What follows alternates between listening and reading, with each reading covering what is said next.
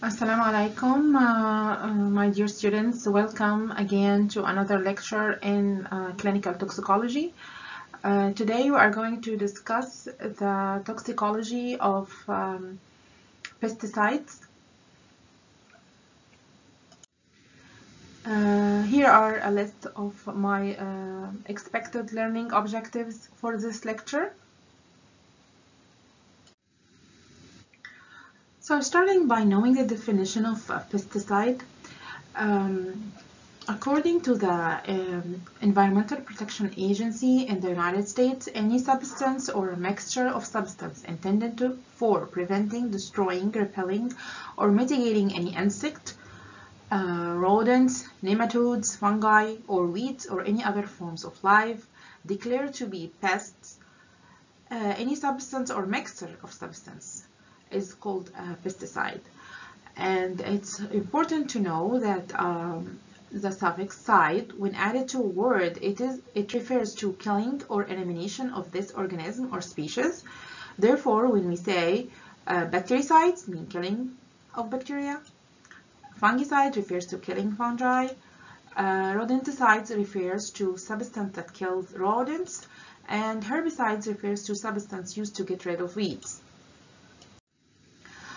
There are several classifications uh, for pesticides, but for the sake of this lecture, we will focus on the groups listed in, uh, on this slide. Starting with organophosphate. Organophosphorus compounds are the insecticides that are uh, most used in Egypt. There are more than 40 different types known and used nowadays, either individually or in mixed forms.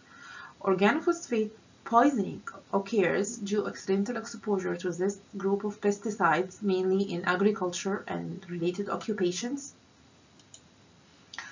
Accidental toxicity commonly happen in children um, as they have very small surface area and uh, organophosphates is rapidly absorbed through the skin and mucous membranes. Suicidal exposure also happen uh, very, very common in developing countries, for example, uh, in India. And homicidal exposure to um, organophosphate occurs by using uh, chemical warfare agents as a nerve gas. Uh, in 1995, a terroristic attack took place in Tokyo where sarin gas was released in the subway during the rush hour, killing 13 people and severely injuring uh, other 50, which um, some of whom were died later on, and uh, also causing uh, vision problems for nearly uh, 1,000 uh, other victims. These compounds are rapidly absorbed through the skin and mucous membrane, and therefore using protective equipment when using uh, or handling these compounds is very essential to prevent toxicity. As you all know, acetylcholine is the neurotransmitter at the cholinergic synaptic nerve endings, and it is degraded by the acetylcholine esterase enzyme following a stimulation of a nerve.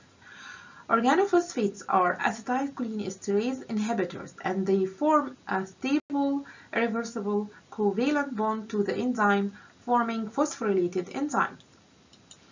Organophosphates mediate inhibition of acetylcholine esterase, causes acetylcholine to accumulate and results in initial excessive stimulation followed by depression. Within 48 hours after phosphorylation of the enzyme, the phosphorylated enzymes uh, enzyme the phosphorylated enzyme complex loses um, its al alkyl group in a process called aging and thus cannot regenerate one, uh, once again. Accumulation of acetylcholine at the post postganglionic parasympathetic junctions activates muscarinic receptors and leads to autonomic parasympathetic manifestation of organophosphate toxicity accumulation of acetylcholine at the nicotinic receptors lead to musculoskeletal manifestation of organophosphates. And uh, accumulation of uh, acetylcholine at certain synapses in the central nervous system leads to overstimulation by excessive acetylcholine followed by depression. This graph illustrates the dynamics of acetylcholine and acetylcholine esterase enzymes at the synaptic space. The green panel shows that after release of acetylcholine at the space, it acts on the receptors. These green parts are the receptors. Um, and the signal transmission is generated. Normally, acetylcholine esterase catalyze the degradation of acetylcholine in the synapse, shown here in this yellow panel, and prevent the transmission of signal. Organophosphate pesticides phosphorylate acetylcholine uh, phosphorylate acetylcholine esterase, thereby reducing the ability of the enzyme to break down the um, neurotransmitter and this produces an accumulation of acetylcholine at uh, the nerve endings, uh, both in the central and peripheral nervous system, resulting in acute cholinergic syndrome with the, uh, the clinical onset of this cholinergic overstimulation can vary from almost instantaneous to several hours after exposure. When it comes to the clinical picture, patients exposed to organophosphate compounds can develop symptoms in minutes to days after exposure. The muscarinic manifestations are a translation to the actions of the accumulated acetylcholine on the parasympathetic system. This include increased secretions in the form of lacrimation, sweating, salivation, uncontrolled emesis, diarrhea with severe uh, abdominal pain and also incontinence. The effect of acetylcholine on the eye leads to the characteristic picture of pinpoint pin, pin pupils and miosis associated with organophosphates toxicity.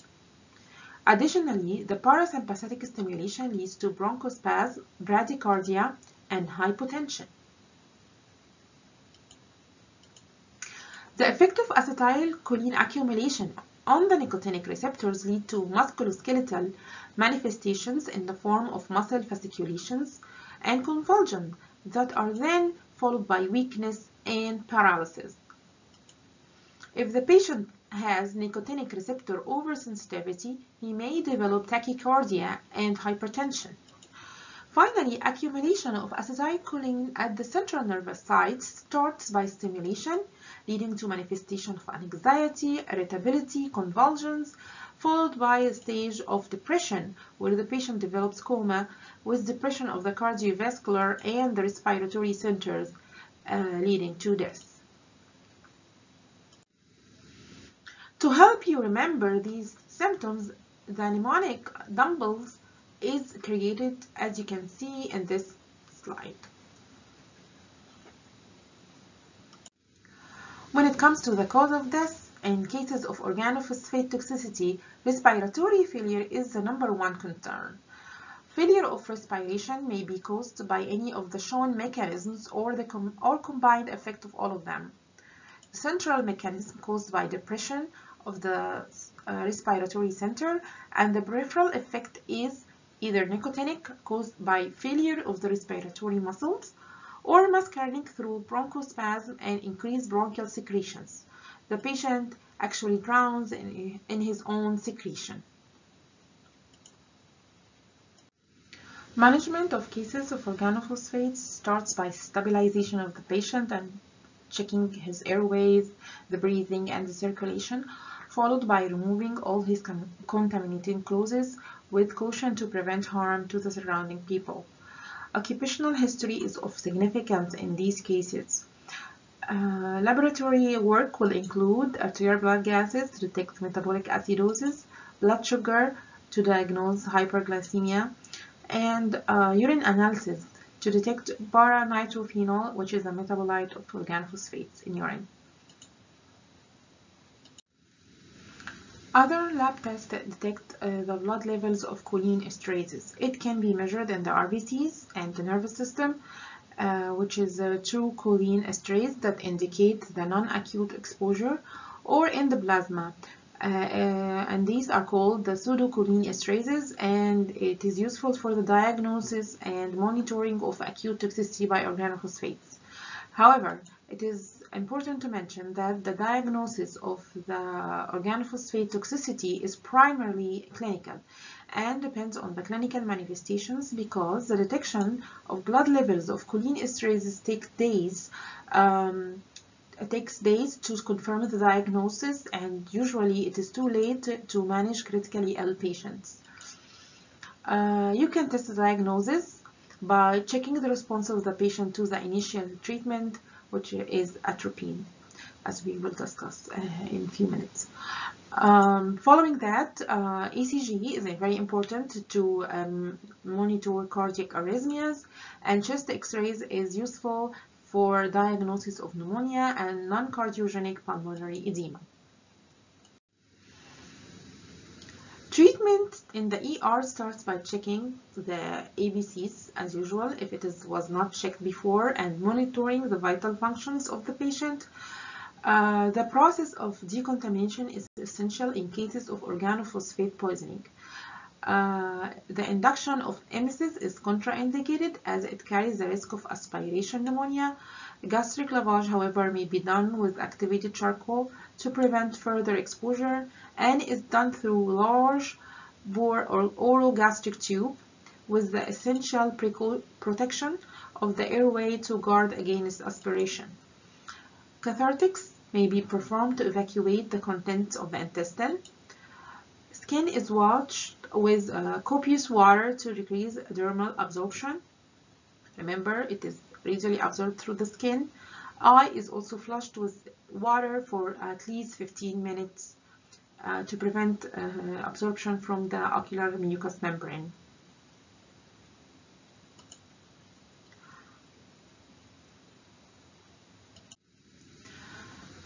Um, atropine antagonizes the muscarinic effect of organophosphate compounds by acting directly on the postsynaptic receptors of acetylcholine.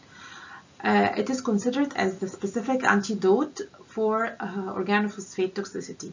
The patient response to atropine administrations appears gradually. So the IV injection of atropine should continue till full atropinization in the in the form of uh, the dilated pupils, dry mouth, and clear chest from the bronchial secretions.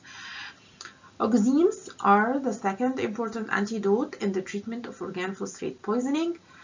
Um, their primary role is to reactivate acetylcholine esterase enzymes after it has been inhibited by organophosphates.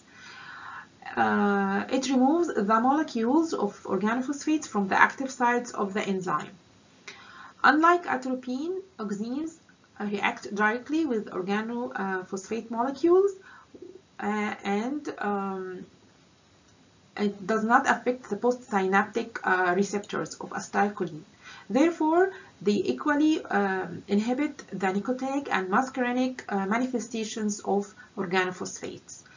However, Pralidoxime uh, does not cross the blood-brain barrier and does not reverse the central nervous system manifestations.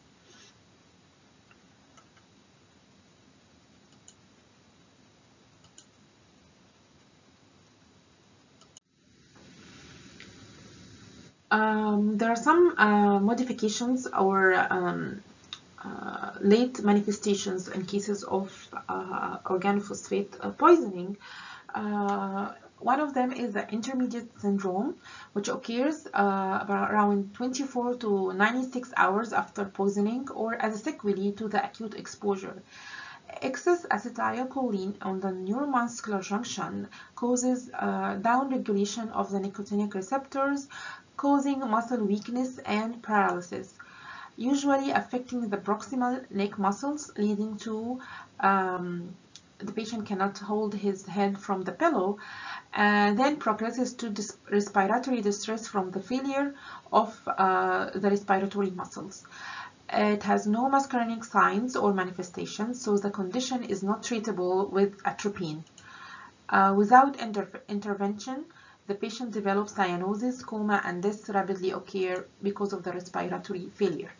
Incidence is uh, around 8 to 49 percent and it lasts for around few days to uh, about 30 days. Another late condition is the organophosphate-induced delayed polyneuropathy.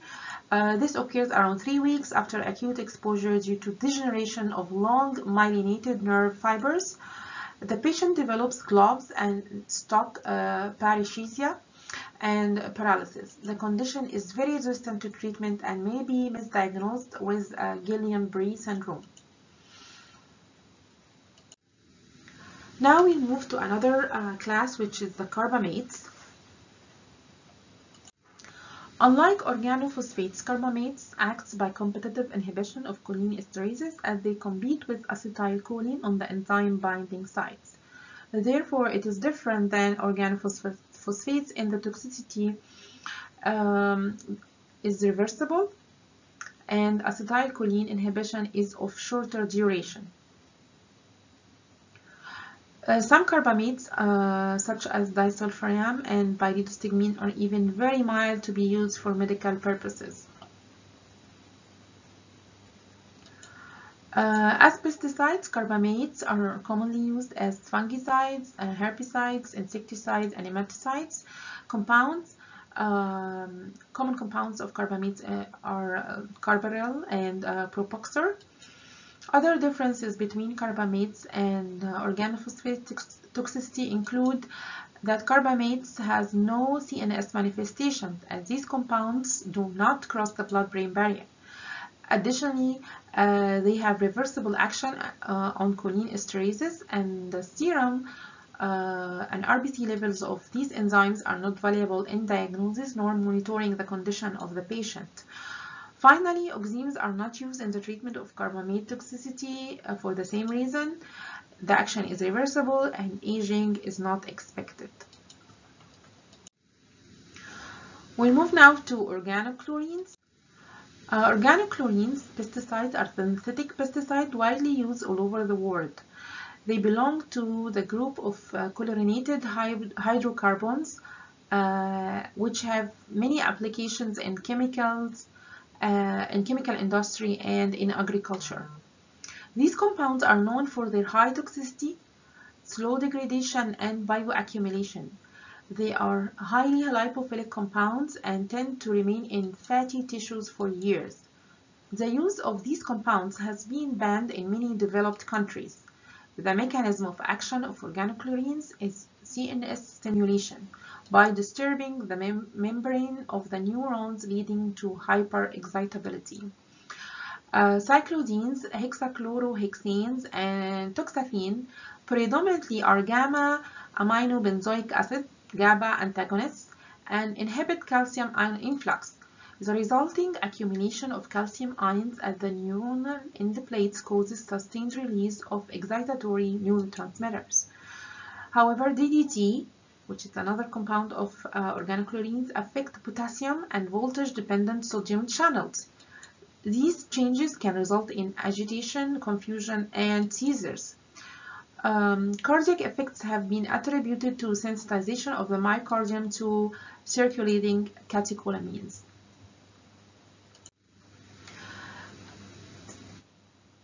Clinical manifestations. Uh, CNS excitation and depression, which typically happen abrupt in onset, uh, and these are considered the primary clinical effects of acute organic organochlorine toxicity.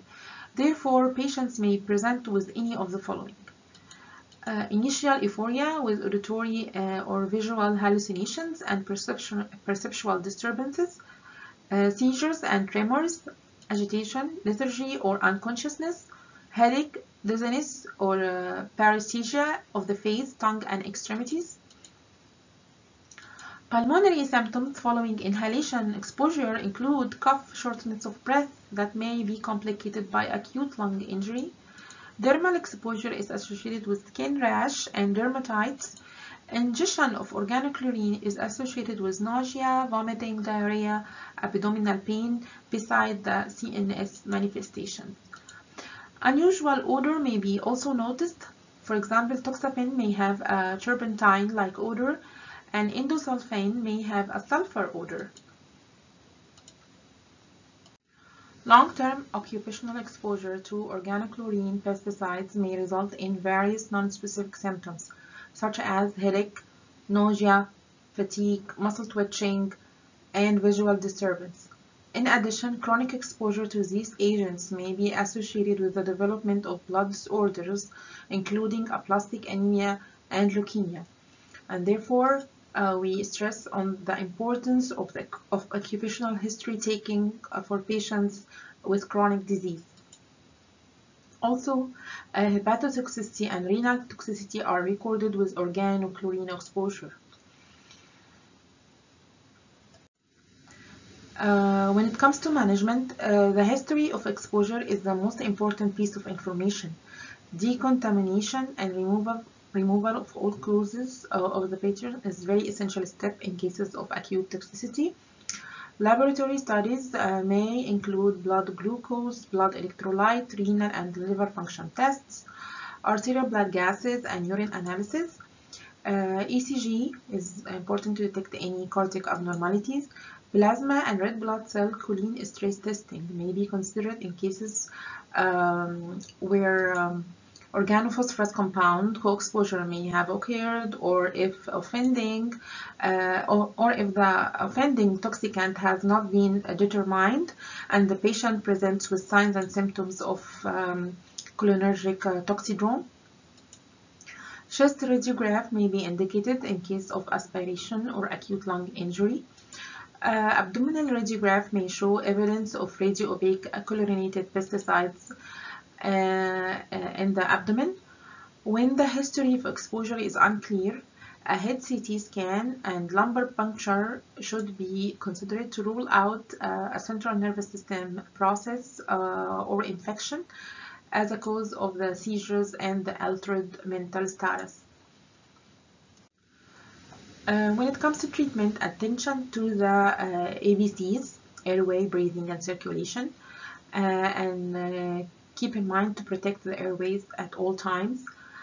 Uh, then we consider a skin decontamination by washing with soap and water and removing clothes, which is, should be placed in a plastic bag to avoid um, the contamination or harm to other surrounding people.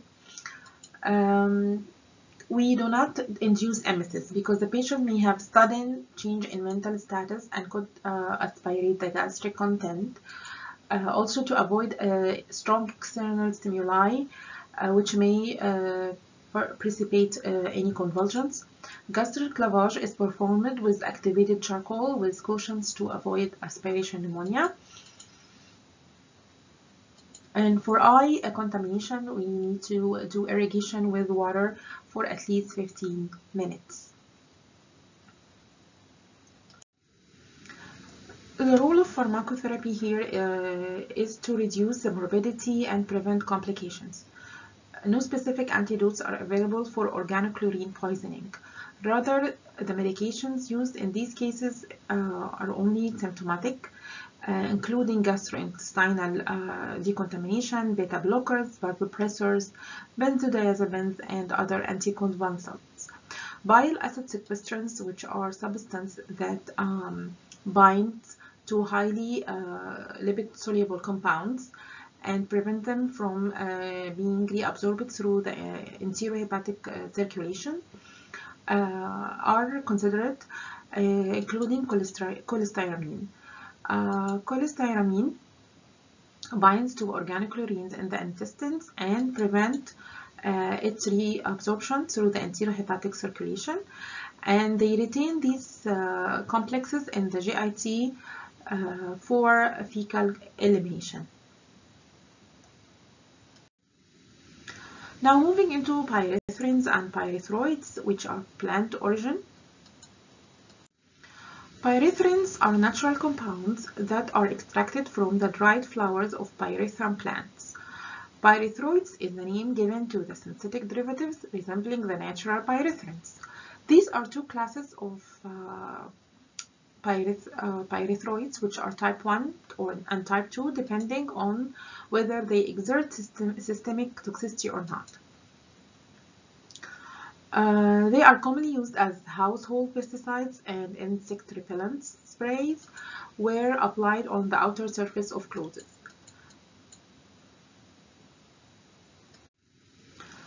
Most synthetic insecticides targeting the nervous system proteins are summarized in this figure. Pyrethroids, like DDT, bind to the voltage-gated sodium channels, preventing its transition from an active ion conducting to an inactive non-conducting state. Uh, as a result, the, the, membranes of electrically excitable cells become uh, persistent, persistently depolarized and the insect is paralyzed and die quickly. Often, uh, an, an, an action called knockdown response. However, these compounds are relatively safe to humans and do not cause CNS manifestations like other previously discussed insecticides. Exposure to pyrethrin or pyrethroids may happen through the skin, which is the most common, leading to erythema, vesiculations, and mild paresthesia. Other modes of exposure are unlikely to happen. If a person is exposed to a very large amount of pyrethrin or pyrethroids through uh, inhalation, it may lead to uh, symptoms of uh, upper respiratory tract irritations uh, such as sneezing and hoarseness of voice up to laryngeal edema. Uh, affection of the lower respiratory tract uh, may lead to irritation in the form of in the form of cough, wheezes, dyspnea, and chest pain. With prolonged exposure, the patient may develop hypersensitivity pneumonitis, uh, symptoms following GIT exposure include nausea, vomiting, diarrhea, abdominal pain, and cramps.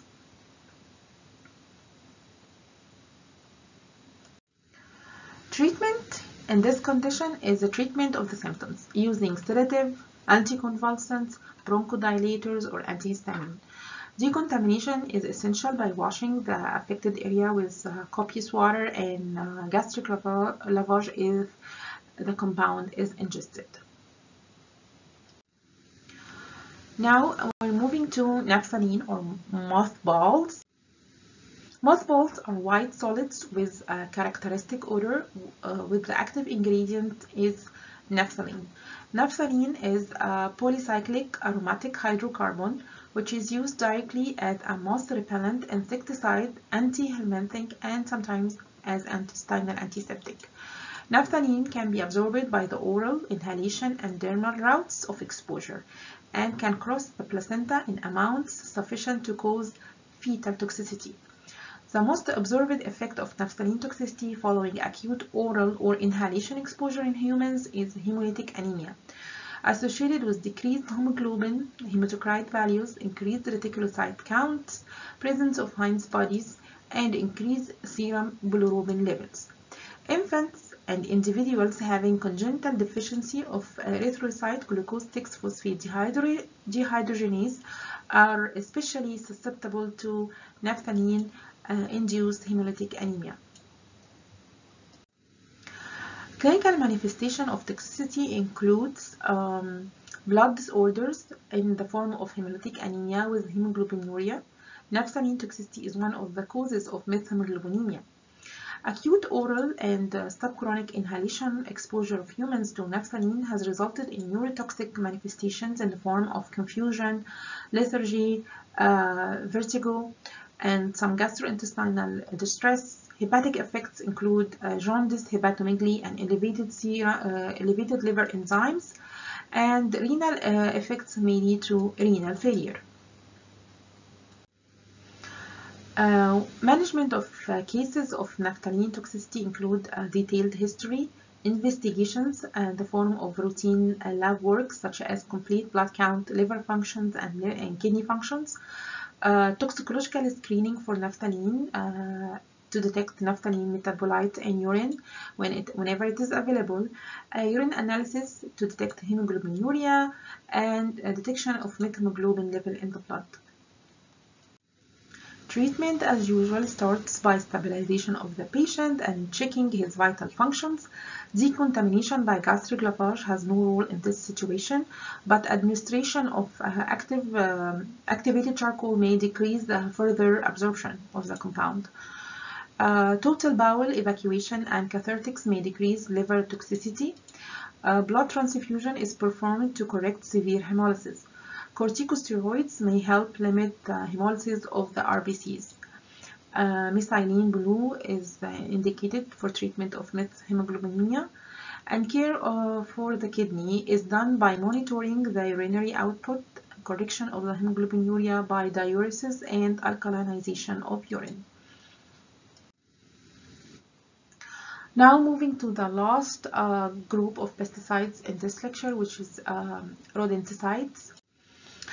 Uh, starting with zinc phosphide, uh, which is a commonly used in rodenticides baits. Commercial products are often available in dark gray powder or pellets. After ingestion of uh, metal, metal phosphides, phosphine gas, which is the active ingredients, will be released uh, due to contact with moisture or hydrochloric acid in the stomach. Uh, subsequently, this gas uh, will be absorbed into the bloodstream, bloodstream through the stomach and the intestine and gets captured by the liver and the lungs. Phosphine gas produces various uh, metabolic and non-metabolic toxic effects. It combines with cytochrome C oxidase enzyme leading to cellular death Clinical symptoms are uh, circulatory collapse, hypotension, and shock symptoms, uh, myocarditis, uh, pericarditis, acute pulmonary edema, and congestive heart failure. Exposure to zinc phosphide poisoning uh, may happen accidentally or through suicides as it is easily to get from uh, pharmacies and local stores. Also, it causes rapid death.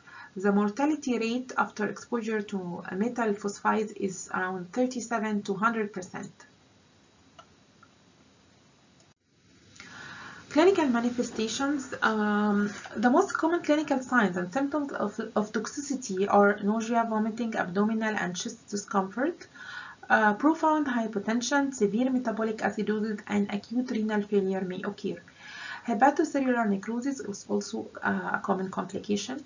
CNS manifestations include headache, fatigue, ataxia, uh, paresthesia, and kinetic tremors.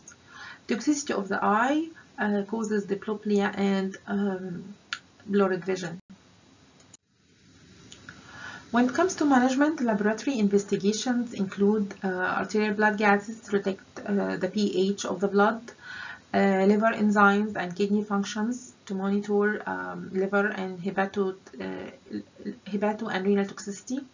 Also, toxicological screening of zinc phosphide whenever is available uh, may help in monitoring the case. Treatment of zinc uh, phosphide toxicity is mainly supportive and symptomatic. The use of activated charcoal is challenging.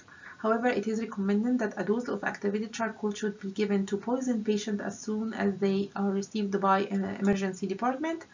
Treatment with bicarbonate is needed to reverse the acidosis. Um, ICU admission and 100% oxygen may be needed in cases of respiratory failure. The other compound used as rodenticides um, is uh, warfarin, known also as um, oral anticoagulants.